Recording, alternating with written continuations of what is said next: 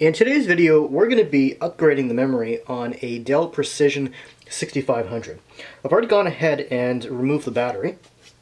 Next, you're going to want to remove the screws that are over here and over here. I've already done that. So what we're going to do is we're going to slide this panel towards us, and that is going to release the latch and allow us to pull that up. Once we've done that, we're going to be exposing the two RAM uh, slots here. So we're very easily going to be able to pop that out.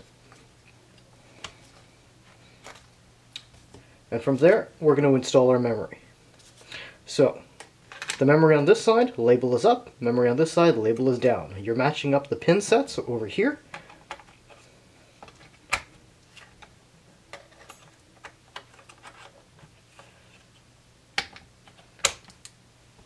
Once you're done, you're going to put the cover back on and you're going to assemble it back together and then you're going to power back up.